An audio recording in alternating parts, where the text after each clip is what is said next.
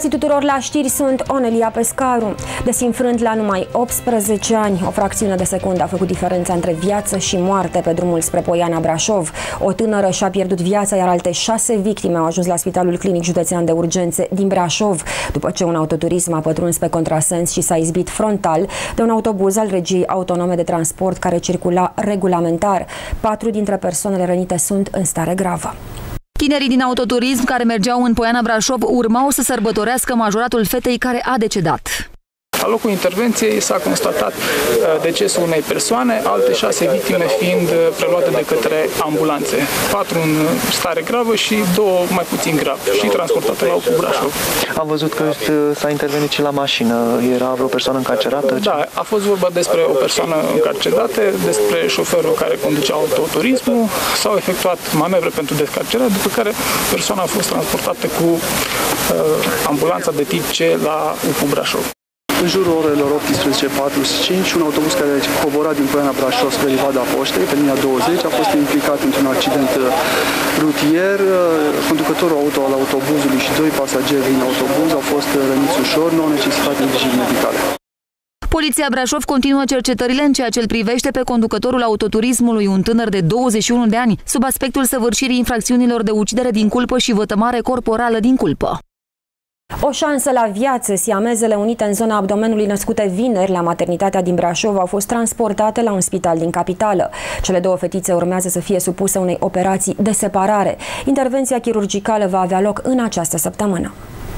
O femeie în vârstă de 33 de ani a născut siameze vineri dimineață la maternitatea din Brașov. Fetițele care cântăresc 4 kg și 800 de grame sunt unite în zona abdomenului. Ele au fost transferate la un spital din capitală pentru operația de separare. Potrivit reprezentanților maternității din Brașov, mama siamezelor a pierdut până în prezent 5 sarcini, aceasta fiind prima naștere. Medicii brașoveni care au urmărit evoluția sarcinii sunt convinși că și operația de separare a fetițelor va fi un succes. Anul viitor, Ministerul de Finanțe nu va mai avea niciun motiv să respingă cererea Consiliului Județean Brașov, care vrea să acceseze 6,5 milioane de euro, așa crede executivul instituției. Sunt banii pentru care plenul județean și-a dat votul încă de la începutul anului, în contradicție cu guvernul care nu și-a dat acordul. Fondurile respective reprezintă creditul pentru finanțarea lucrărilor la aeroport, dar și pentru reabilitarea spitalului județean. Din suma de 6,5 milioane de euro pentru care Consiliul Județean a solicitat acordul guvernului, 1,5 milioane sunt bani destinați reabilitării Spitalului Județean de Urgență Brașov. Pe baza votului aleșilor județeni, instituția a finalizat procedura de achiziție a creditului, însă contractul propriu-zis de accesare a sumei nu va fi semnat deocamdată, în lipsa acordului Ministerului de Finanțe. Asta în condițiile în care alte județe care au solicitat un aviz similar l-au primit, spun reprezentanții forului Consiliului Județean. Deocamdată eu mi-am luat gândul că în acest an creditul de 6 milioane vom reuși să-l accesăm. Uh, dosarul ne-a fost respins, motivele au fost puerile, e clar că nu s-a dorit să ni se dea acești bani, însă la anul nu există motive să nu-i primim. Pentru că uh, acum dosarul e în regulă, e depus la minister, suntem printre ultimii de anul ăsta, dar primii de anul viitor. Președintele Consiliului Județean, Aristotel Căncescu, precizează că în timp ce se așteaptă acordul Ministerului de Finanțe, proiectele în derulare își urmează cursul. Astfel, la Spitalul Județean se execută reabilitări din fondurile proprii ale județului, iar la aeroport se fac lucrări în continuare. Mintea sănătoasă în corp sănătos este principiul reprezentanților municipalității care au decis să le ofere brașovenilor și mai multe variante de practicare a sportului în aer liber. Este vorba de aparate de fitness ce vor fi montate în mai multe parcuri din oraș. Asta după ce instrumentele deja amplasate în anumite zone de relaxare au adus la mișcare persoane de toate vârstele. Sportivii amatori au vârste care ating chiar și cifra 70, dar acest lucru nu împiedică să se bucure de multe exerciții fizice care le prelungesc viața, așa spun seniori. Aparatele de fitness pe care se poate face mișcare gratuit în aer liber aduc în parcurile din oraș foarte multe persoane dornice să obțină un corp sănătos și frumos. Datorită acestui lucru, specialiștii primăriei au decis să mărească numărul instrumentelor pentru mișcare. Astfel de aparate de fitness vor fi montate în aproape toate parcurile din oraș. Brașovenii se vor putea bucura de sport în aer liber atunci când lucrările vor fi gata, adică la finalul toamnei. Vor fi montate în toate cartierele Brașovului, în uh, cartierul Astra, atât pe Bulevardul Ștefan cel Mare, cât și uh, Scoarul Berzei, în Bartolomeu, pe, la Parcul de pe Agricultorilor, în uh, Neptun la Palatul Copilor, în Valea Cetății. Deci încercăm să punem în cât mai multe parcuri, pentru că există foarte multe solicitări. Să spunem, la început erau multe solicitări în partea pensionarilor, dar în timp au început să crească și din partea uh, celor mai tineri, care merg cu copii în parc și doamnele se duc la, și folosesc aparatele de de fitness. Le fac la fel ca pe astea de aici. De ce? din pan sau de la noua de plastic sunt... Uh, nu, nu, nu au aceeași utilitate. De câte ori veniți să faceți sport aici? Copil, dimineața și vin în fiecare. Dar v-am surprins, v-am filmat făcând sport. Cum e? Vă place? E ok? Da, da, da, da, da. Foarte util. Eu sunt operat de cervicală aici la spate și vin și fac unii mai ușor, că n-am voie să mă forțez prea tare, că am trei luni de la operație. Dar mă simt foarte bine la aparatele astea. Mai punem uh, mișcare, corpul, sângele. Sunt foarte, sunt super. Mi-ar place că e foarte bună, utilă pentru orice vârstele. Sunt foarte utile peste aparate. Pentru aceste aparate, reprezentanții municipalității spun că vor investi 200.000 de lei din bugetul local. Eliminarea ordonanței de urgență din Constituție, aceasta este propunerea parlamentarului Nicolae Vlad Popa, care susține că este vorba despre un instrument legislativ pe care îl consideră nedemocratic. Acesta acuză că instituția guvernului nu respectă principiul separării puterilor în stat. Senatorul democrat liberal a declarat că doar astfel îi se va reda Parlamentului funcția de legiferare care a fost blocată în ultimele trei sesiuni de activitate. Sunt sute de ordonanțe de urgență care reglementează în locul Parlamentului. Activitatea parlamentară este bagiocorită de acest sistem care nu face decât să amestece lucrurile și să încalce separația puterilor în stat. Această formulă trebuie desfințată și ne vom lupta pentru a face o dezbatere publică ca cetățenii să înțeleagă de ce este nevoie de desfințarea ordonanței de urgență. Armuri și turniruri, dansuri și costume de epocă, cavaleri și prințese. Toate au făcut parte din atmosfera plină de farmec a evului mediu care a prins din nou viață în weekend la cetatea Brașovului. Cavalerii și domnițele de altă dată i-au purtat pe brașoveni și turiști dincolo de poarta timpului, într-o călătorie medievală pe acorduri de menestreli. A fost sărbătoare mare în acest sfârșit de săptămână la festivalul medieval Turnirul Cetăților. Cei mai curajoși dintre vizitatori au putut lua primele lecții de mânuire a sabiei direct de la un specialist. Okay, from the point where you've gone for my leg and I blocked, yeah, and you can see my sword arm is going back, you return automatically to the position of... Okay. Întâmplător sunt uh, la Brașov la niște prieteni și am uh, vizitat acum cetatea. Am uh, luat câteva lecții de spadă pentru siguranță și... Cum vi s-a părut? Deosebit. N-am mai ținut spada în mână. Doamnele și-au putut delecta privirea cu cele câteva zeci de modele de bijuterii, dar și cu ținute specifice perioadei medievale.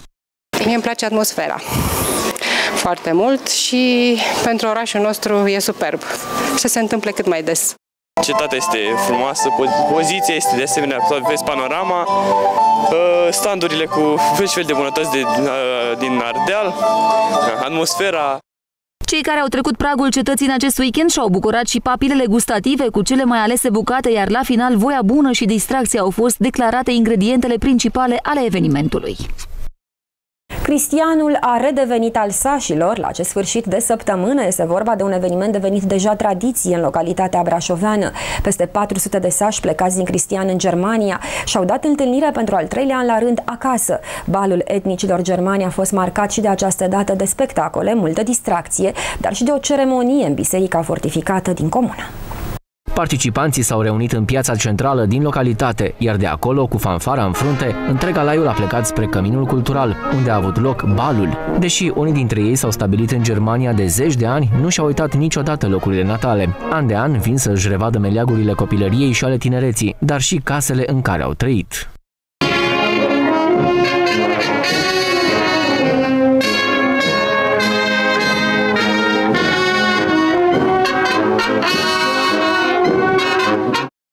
Este o zi mare pentru Cristian pentru că ne reîntâlnim români din Cristian și cu sașii din, care au plecat din Cristian.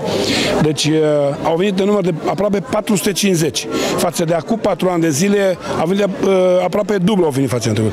Și aceasta ne dă un lucru pozitiv și o gândire sănătoasă că cei care au plecat din Cristian iubesc Cristianul, s-au întors cu mare plăcere și cu mare dragoste în localitatea lor.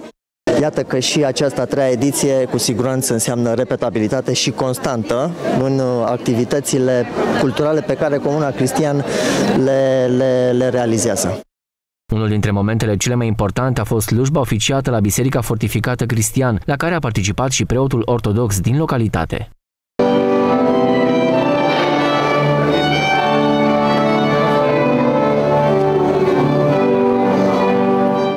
Aici oamenii și-au rădăcina și este pentru ei un lucru foarte important și din punct de vedere sentimental să vină înapoi acasă. Românii ortodoxi privim cu multă dragoste reîntoarcerea lor pentru că avem și motive de multe, sub diferite aspecte.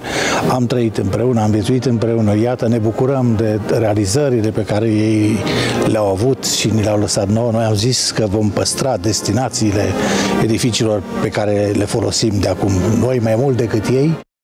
Mâncare specifică, dar și o formație de muzică tradițională, formată din cristoloveni plecați în Germania, au oferit balului autenticitatea de altă dată. Garofița Pietrei Craiului a poposit la Predeal la sfârșit de săptămână. Peste 100 de membri ai ansamblurilor tradiționale din Grecia, Serbia și Ungaria au evoluat pe scena din stațiunea brașoveană în cadrul celei de-a opta ediție a Festivalului Internațional de Folclor. Tinerii artiști și-au prezentat tradițiile și obiceiurile naționale spre încântarea predelenilor, dar și a turiștilor prezenți la eveniment.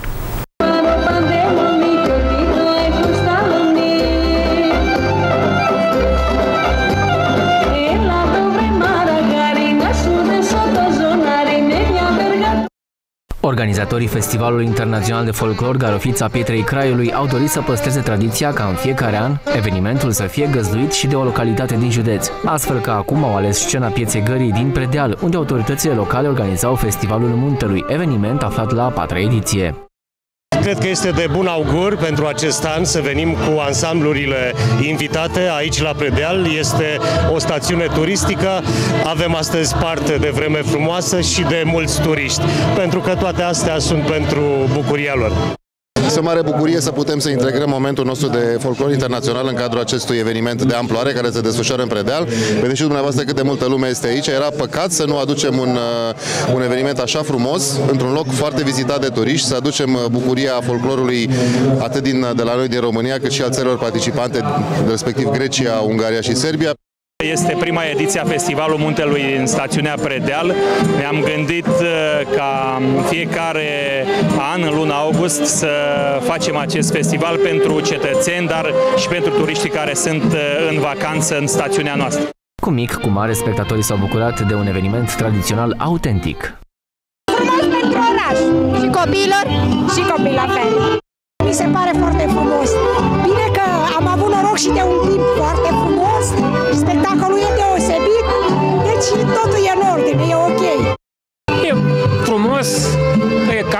cald, n-a plouat deloc, e o zi deosebită, suntem mulțumiți de spectacol de aici. Cum vi se pare spectacolul? Reușit, destul de reușit, complex, a fost foarte bine. Festivalul s-a încheiat duminică în Brașov cu o paradă a participanților, dar și un spectacol de gală în Piața Sfatului.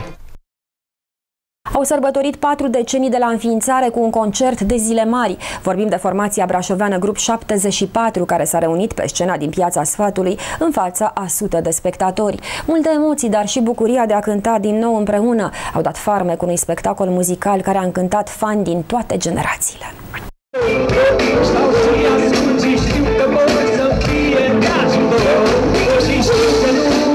Trece mult și voi putea să spun Că și am reușit să fac lucru bun și să știi au repetat timp de câteva săptămâni pentru ca acest concert aniversar să fie perfect. Show-ul 40 de ani, grup 74, a adus multe surprize pentru toți cei care le-au fost alături. Înainte de concert, în culise au fost emoții mari. E normal să avem emoții după câtă muncă am tras în sala de repetiție, dar uh, avem uh, încrederea că tot o să fie ok. Ce sentimente sunt mai deosebite la acest spectacol față de celelalte? În primul rând că ne-am reunit după atâta timp și că o să cântăm în fața prietenilor și a celor care așteaptă să audă piesele noastre din cauza importanței evenimentului și n-am cântat mult timp și parcă sunt prima oară pe scenă din nou. Publicul e foarte încântat, a venit special pentru dumneavoastră, pentru a vă asculta. Am văzut foarte mulți prieteni la care nu mă așteptam. Au venit să mă vadă special și le mulțumesc tuturor. Melodiile grupului 74 au răscolit multe amintiri în rândul spectatorilor. E un remember al anilor 70 și ei într-adevăr au făcut carieră și au produs uh, o oarecare emulație, începând cu Power.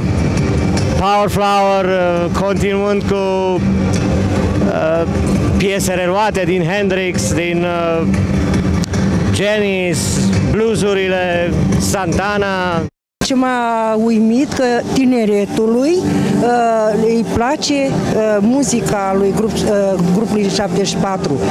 E de mirare, adică eu sunt de pe timpul dânșilor, dar tineretul chiar, chiar m-a mirat. Dar e o muzică frumoasă, bună, de suflet.